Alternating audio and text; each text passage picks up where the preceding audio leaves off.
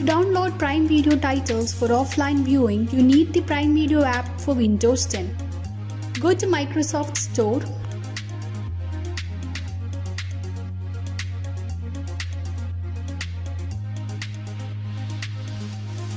Install Prime Video app for Windows 10.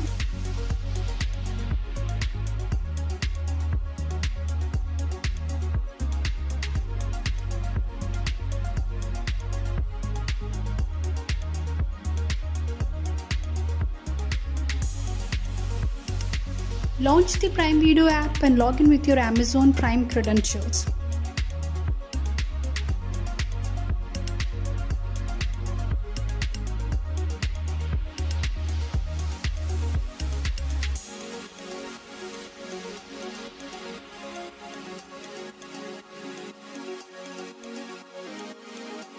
Find the video you want to download and click download.